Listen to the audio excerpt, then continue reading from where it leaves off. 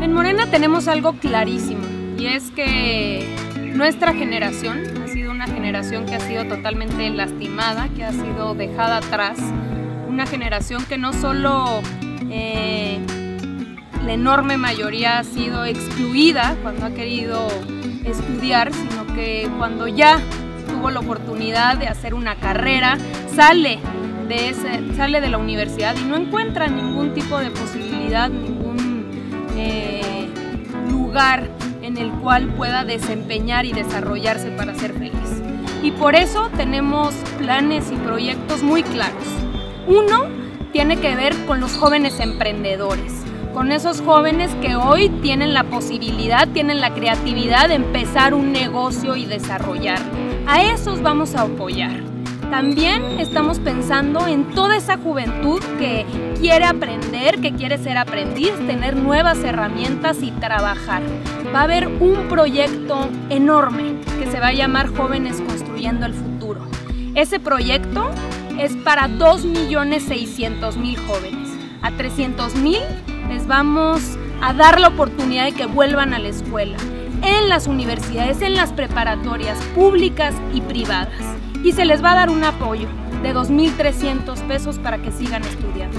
Pero sobre todo, a 2.300.000 jóvenes que han sido excluidos, los vamos a vincular a una fuente de empleo, a una empresa pequeñita, mediana, grande, a una papelería, a una carpintería, para que aprendan un oficio para que tengan más herramientas para desarrollarse y que después de un año puedan conseguir un trabajo y puedan tener un mejor ingreso. Andrés Manuel lo ha dicho muy claro, sicarios no, becarios sí.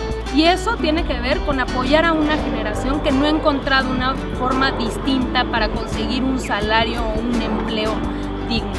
La cosa es abrir esas enormes posibilidades, pero solitos no lo vamos a poder conseguir esta generación tiene que apoyar, a impulsar para, para adelante, a cambiar.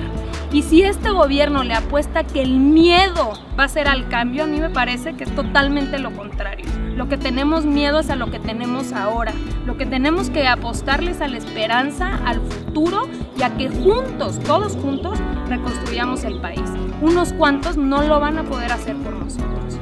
Así que me parece que la apuesta es a no conformarnos, nos quieren dejar y a que todos juntos pongamos nuestro granito de arena para sacar a estos corruptos del país y para que toda la gente que sí quiere una transformación en México podamos alzar la voz.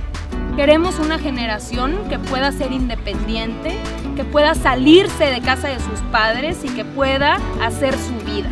Y esa generación es la que le va a dar el impulso, es la, el empuje para que este país crezca, se desarrolle y que todos podamos encontrar en este espacio la posibilidad de ser felices.